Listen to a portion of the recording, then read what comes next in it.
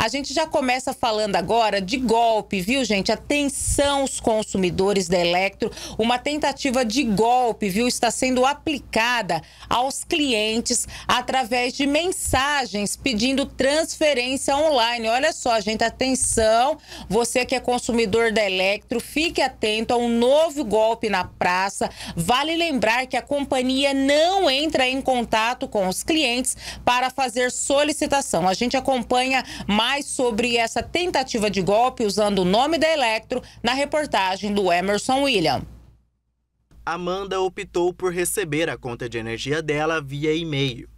Ela, que é consumidora há anos da Electro, procurou se informar sobre as regras da empresa para evitar cair em um possível golpe. Eu sei que a unidade ela não manda nenhuma informação para solicitação de Pix para você refazer. Se no caso alguém te mandar mensagens pedindo para que faça transferência via Pix, você já vai reconhecer que é golpe. Ah, com, com, com, toda certeza que é golpe, que a, a Eletro não manda nenhum tipo de informação a qual você não solicita. No caso, tem um aplicativo, tanto meio o aplicativo do app ou via WhatsApp que é o atendimento ao cliente. Já a dona Neuza quase que cai na tática dos golpistas. Ela conta que já recebeu mensagens no celular por pessoas que alegam trabalhar na companhia, mas que por medo decidiu não dar continuidade ao assunto. É, eles mandam assim, falando as coisas, eu, eu falo que não, não sei mexer, eu vou lá e falo, não. Só isso, eu falo assim que não, não sei mexer, não sei falar com a Eletro pelo zap. De repente apareceu aqueles pela Eletro no zap, não era no zap, eu recebia pelo e-mail, né? E de repente apareceu aquele lá no zap meu. Aí eu falei, ah, de certo é a Eletro que ponhou, né? Que tem meu número, né? Tudo. Não sei.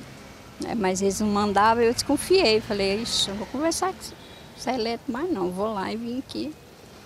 Eles falou assim pra mim, né? Gente que não mandar mensagem para mim, não.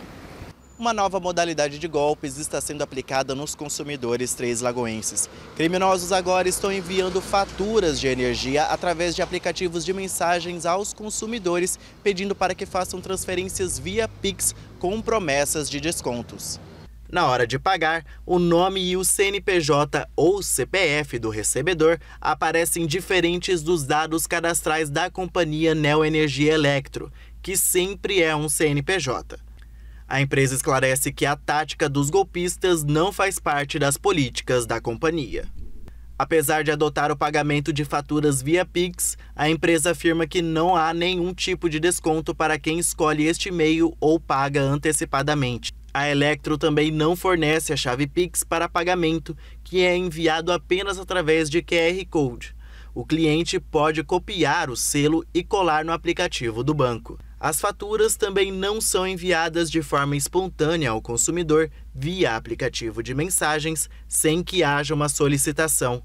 O cliente que optar por receber a conta online deve solicitar o recebimento via e-mail presencialmente nas agências ou pelo canal oficial de atendimento, através do número DDD 19 21 22 16 96. O representante institucional da companhia, André Fernandes, orienta os consumidores a buscarem a própria Electro em caso de dúvidas para não caírem em golpes.